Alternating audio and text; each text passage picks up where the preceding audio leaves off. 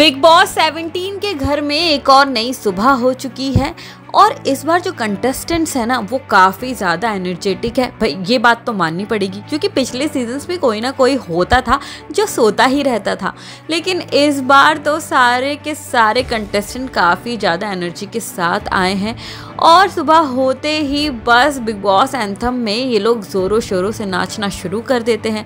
लेकिन आज की सुबह थोड़ी अलग है बिग बॉस के घर में, क्योंकि भाई, जहाँ हर सुबह ईशा मालवीय और अंकिता लोखंडे एक साथ नाचते हुए नज़र आते थे, दिन की शुरुआत करते हुए नज़र आते थे। वहीं ईशा की जगह ले लिया मनारा ने। जी हाँ मनारा जिनसे कि अंकिता की इतनी बनती नहीं है और हाल ही फ़िलहाल में काफ़ी लड़ाइयाँ भी हुई हैं इन दोनों के बीच में। लेकिन एक साथ अब ये दोनों लाइव फ़ीड में नाचते हुए नज़र आ रहे हैं और यहाँ ईशा कहीं पे भी नज़र नहीं आ रही है। आपको बता दें कि एक पूल एरिया है जहाँ पर मुनावर, ईशा, अभिषेक और अंकिता अक्सर डांस करते हुए मॉर्निंग में नज़र आते हैं। लेकिन इस बार इस जगह पर अभिषेक है, मुनावर है, अंकिता भी है। लेकिन नहीं है तो वो है ईशा। और आ गई है उनकी जगह जिन्होंने ली है, वो है मनारा। अब देखिए, शुरू के हफ्तों में हमने अंकिता और मनारा की दोस्ती देखी थी। उनकी बॉन्डिंग देखी थी, लेकिन इनके बीच में आ गई थी ईशा मालविया, जिसके बाद इन लोगों के बीच में लड़ाइयाँ होना शुरू हो गई थी।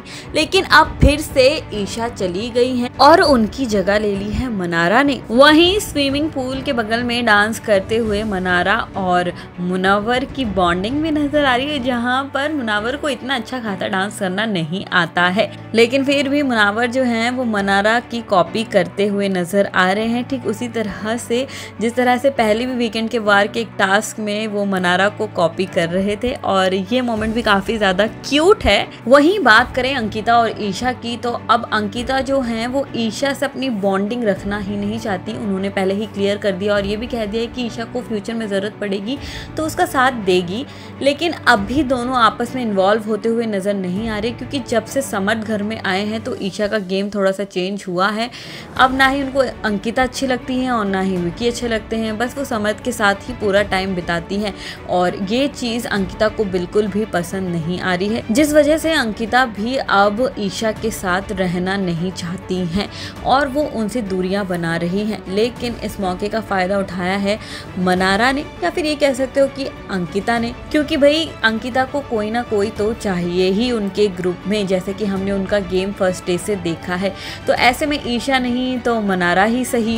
वेल well, इन सबको लेकर आपका क्या कुछ है कहना हमें कमेंट सेक्शन में ज़रूर बताएँ। साथ ही ऐसे ही टीवी और बॉलीवुड से जुड़ी तमाम खबरें जानने के लिए आज ही फ़िल्म बीट को सब्सक्राइब करें। और अगर आप हमारा ये वीडियो फेसबुक पर देख रहे हैं तो वहाँ पर भी हमें फॉलो करना बिल्कुल ना भूलें। हम आपसे मिलेंगे एक और नई वीडियो के साथ। तब तक के लिए हमारे साथ बने रहिए।